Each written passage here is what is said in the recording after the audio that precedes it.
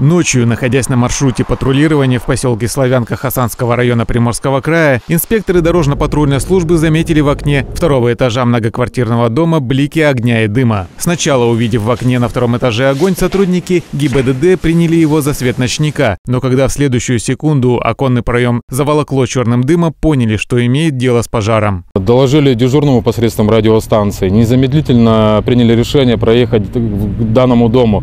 Подъехав к данному дому, мы не смогли сразу попасть в подъезд, так, так как стоял домофон.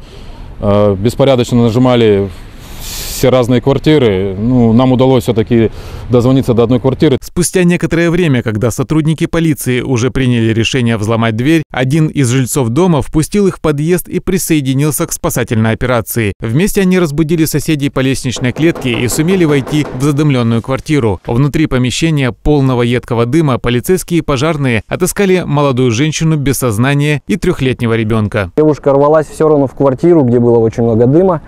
И ну, видать, за ребенком просто. Она не знала, что ребенка уже вынесли и передали соседям. Потом совместно с сотрудником пожарной части а, произвели дымоудаление, то есть открыли дверь на балкон, открыли окна, прошли на кухню с фонариками, просветили, чтобы, ну, что возгорание уже ликвидировано.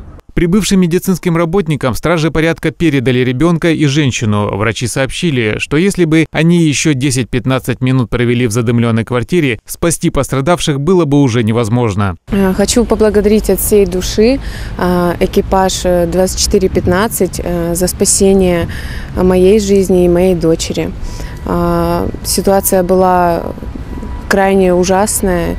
И хорошо, что в этот момент они были рядом и помогли ну, в такой вот трудный момент. Так, благодаря оперативности и отзывчивости полицейских, а также слаженным действиям сотрудников госавтоинспекции, пожарной части и медиков удалось избежать трагических последствий. Олег Завьялов, Дмитрий Беломестов. Новости на восьмом.